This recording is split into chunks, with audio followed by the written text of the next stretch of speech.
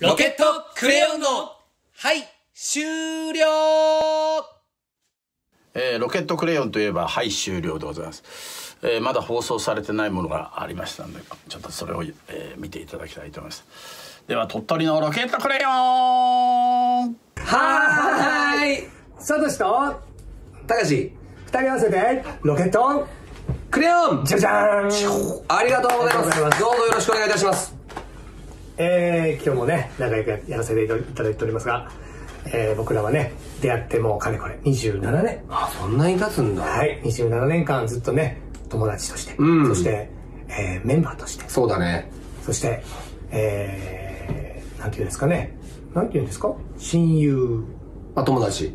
あ一緒か。まあいやまあまあまあま家族ではであは。家族ではないけど家族みたいな。付き合いまあそうですよ。長いですよね、うん。そんなあの僕たちの思い出を、うん。今日はね皆さんにお届けしたいと思います。まあそれはいっぱいあるからな。そうですね。まず出会い。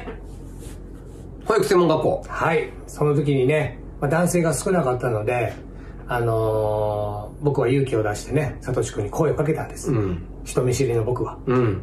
ちょちょっと友達を作ろうと。うんサトシ君に声かけたんですけどまあ見事に無視されました。もうこれ一生言われるんだろうな。え無視する？いや聞こえて聞こえてなかったんじゃないいやかな結構勇気を出して言ったんですよ。あのねいやなんかねなんだろう、はい。気を張ってたのかな俺。うん。気を。こう喋ったのにスーって消えていったよね。いやなんかねはい何だったんだろうな。何だったんですか？俺も分かんないんだよな。教えてよ。あんまり覚えてないんだよな。でもしたかもしんないなと思う言われて。ちょっとは残ってる。なんか、うんまあ、無視。うーんなんか聞こえないふり。それは無視という。ひどい。ひどいな。スタートはひどかったんですけどね。そっからすごく仲良くなってね。そうだな。本当に本当にごめんなさいですよ、はい。うん、もう当時の自分を殴ってやりたい。ダメですはい。暴力はダメもう自分だからそうだね。自分が自分をだから。ああそっか。そうだよ。それはじゃあ。げんこつです。反省です。猛省です。はい。そんなことがありました。そうだね。はい。でもそっから仲良くなってね二人で僕らはあの毎晩あの放課後ね残りまして。前半の放課後。はい終了。